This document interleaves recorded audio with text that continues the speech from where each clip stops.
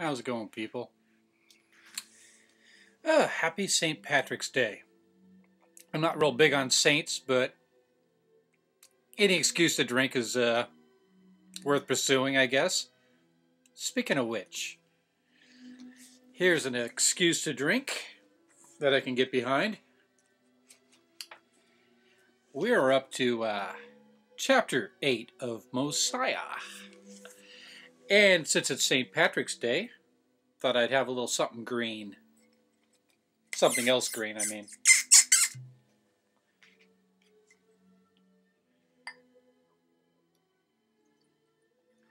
Mmm, nice and green.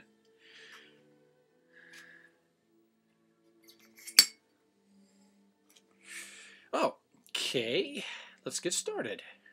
Cheers.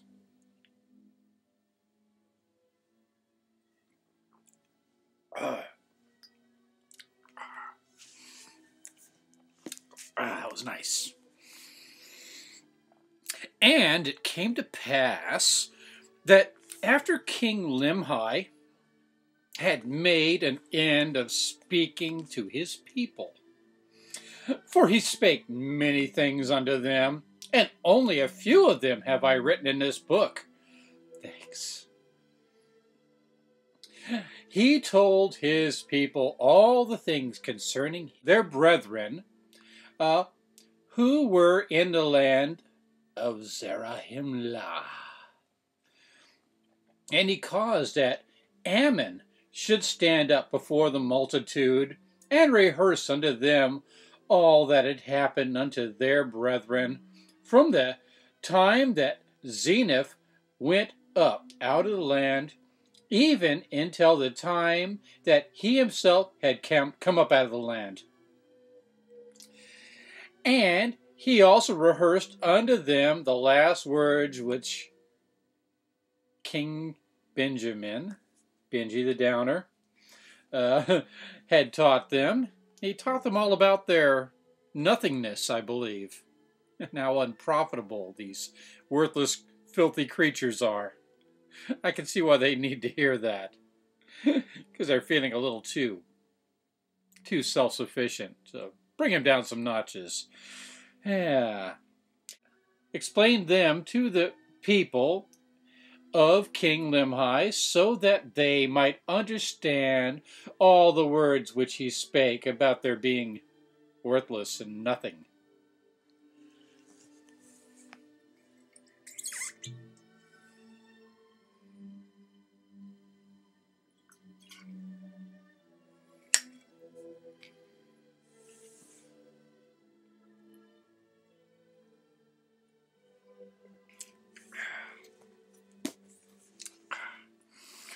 And it came to pass that after he had done all this, that King Limhi dismissed the multitude and caused that they should return every one unto his own house.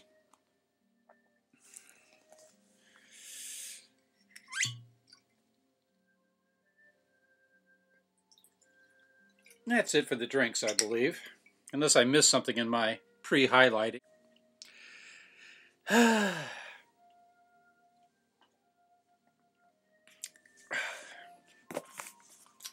it came to pass that he caused that the plates which contained the record of his people from the time that they left the land of Zarahemla should be brought before Ammon that he might read them.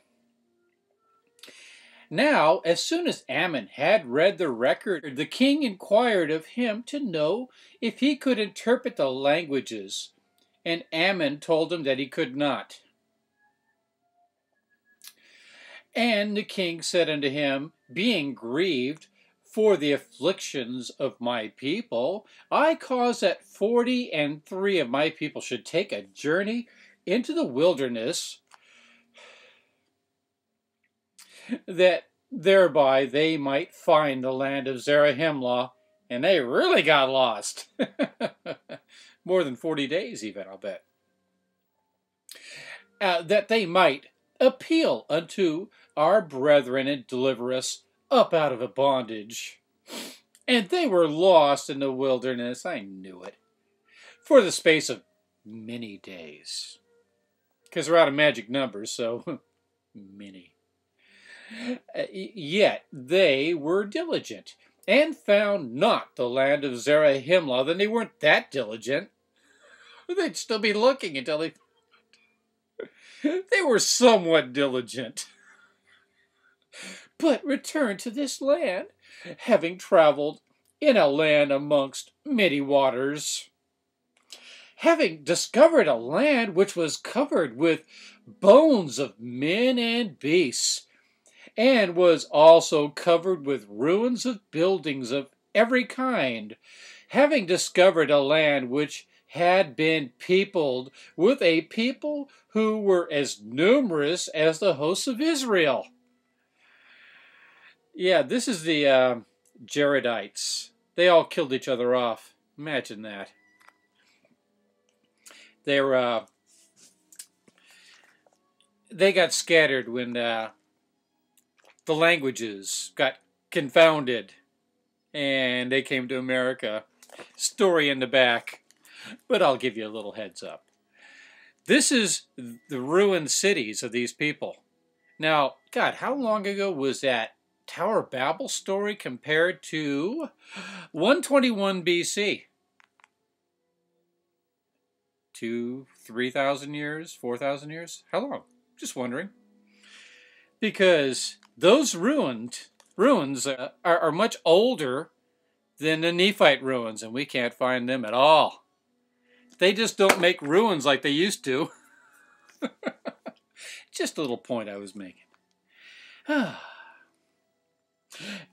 and for a testimony that the things that they had said are true, they have brought 24 plates, which are filled with engravings and are of pure gold, because the uh, Jaredites had the same ideas.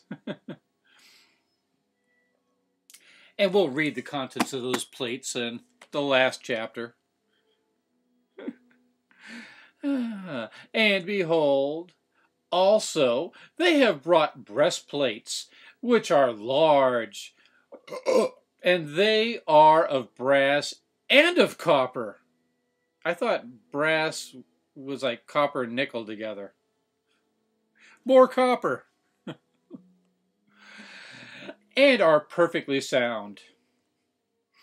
And again, they have brought swords, the hilts thereof have perished, and the blades thereof were cankered with rust, and there is no one in the land that is able to interpret the language or the engravings that are on the plate.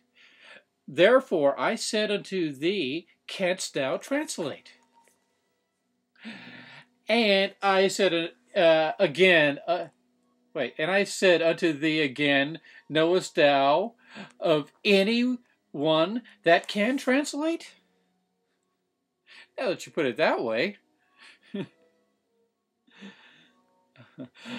For I am desirous that these records should be translated into our language, for perhaps they will give us a knowledge of the remnant, uh, uh, remnant of the people who have been destroyed.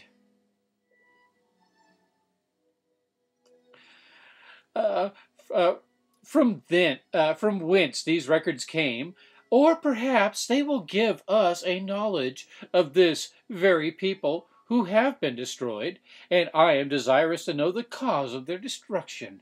Should have drank the destruction.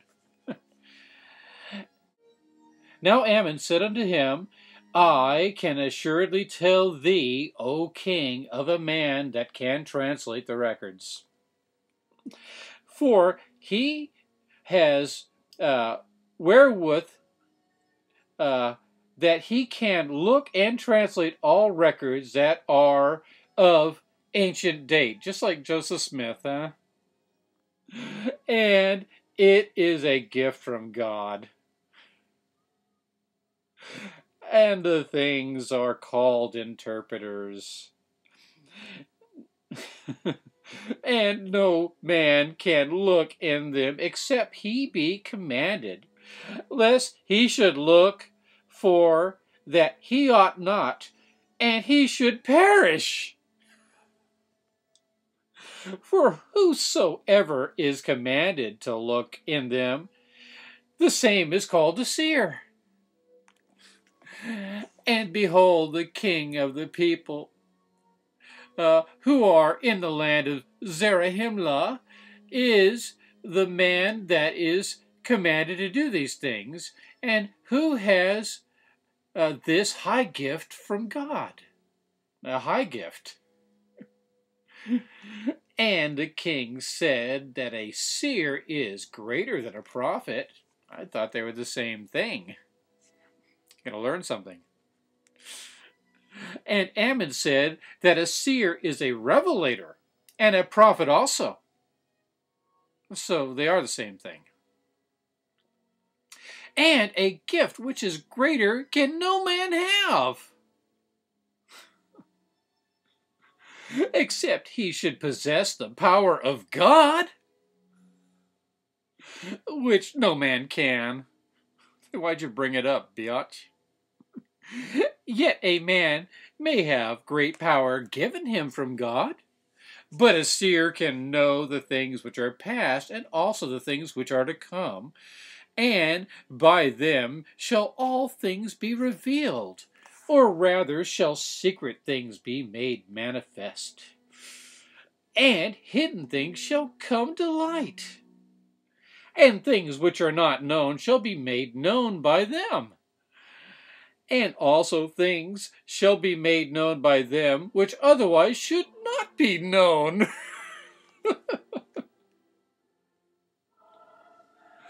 Thus, God has provided a means that man, through faith, might work mighty miracles. Therefore, he becometh a great benefit to his fellow beings. And now, when Ammon had made an end of speaking these words, the king rejoiced exceedingly and gave thanks to God, saying, Doubtless a great mystery is contained within these plates.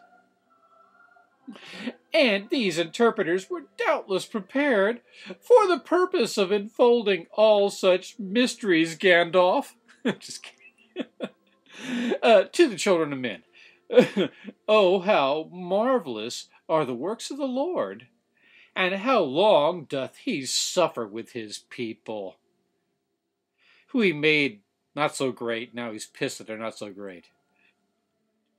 Yea, and how blind and impenetrable are the understandings of the children of men for they will not seek wisdom. Sure they do. Why do you think they get in all these cults? they seek wisdom and find stupidness. But it's good stupidness, apparently. Give us your money. We'll make you super. For they will, uh, for they will not seek wisdom, neither do they desire that she should rule over them? Yea, they are as a wild flock which fleeth from the shepherd, and scattereth, and are driven, and are devoured by the beasts of the forest.